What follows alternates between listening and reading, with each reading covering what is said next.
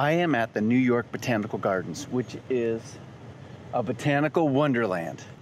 And I love plants. I love all plants. I understand that not all people love all plants. But here's a plant that everybody should love. It's right here. So right here, check out this amazing plant. Looks like this, and it's in its its perfect ecosystem. It's right along this wetland area where it's just watery.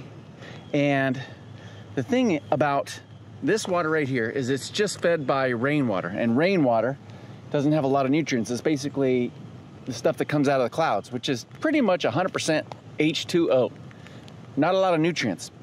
So, plants that grow in this sort of environment are struggling to get the kind of nutrients that they need to survive, like, uh, like fertilizer, basically. So, this plant has to go and trap its nutrients. And let me just show you this plant. It's called a pitcher plant, and it's a carnivorous plant.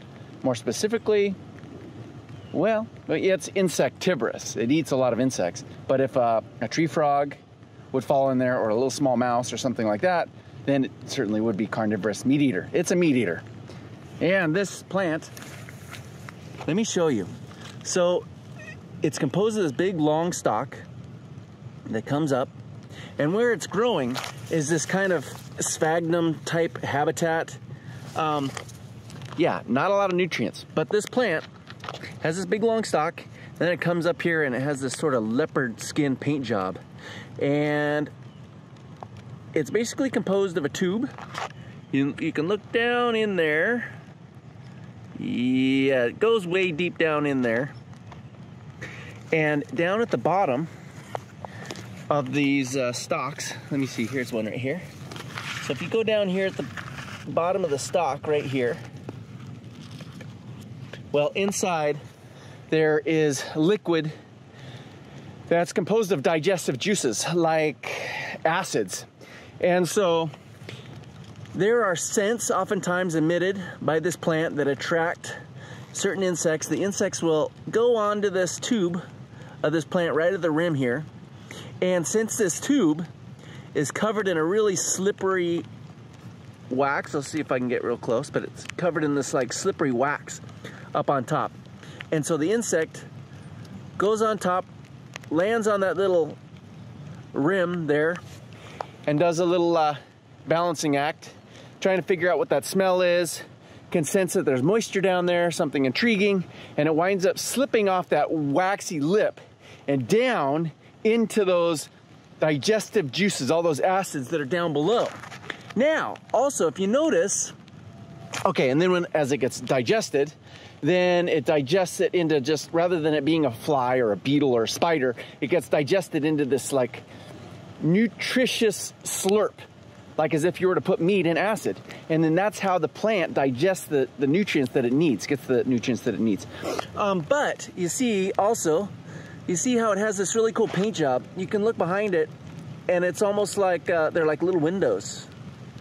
Well, and also it has a little lid up on top. Well, the lid, notice how it's raining right now. If it didn't have a lid, rainwater would flow right into this tube and, and basically dilute all of those digestive acids, which wouldn't be good and make the plant as effective. So it has a little um, built-in umbrella.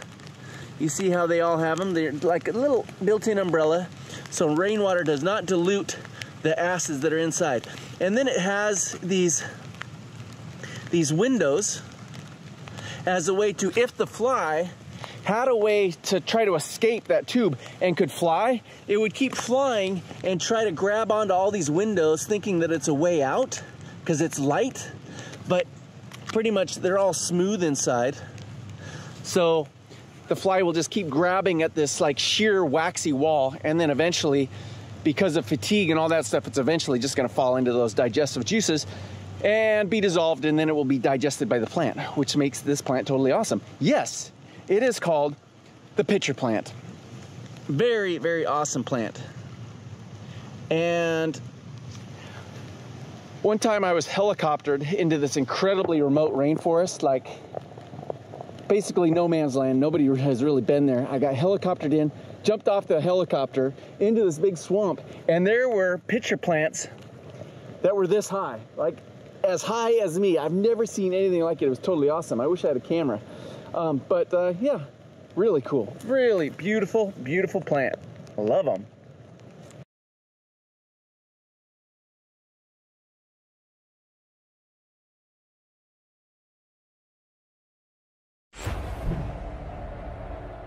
If you like what you've just seen, please don't forget to like, comment, and subscribe.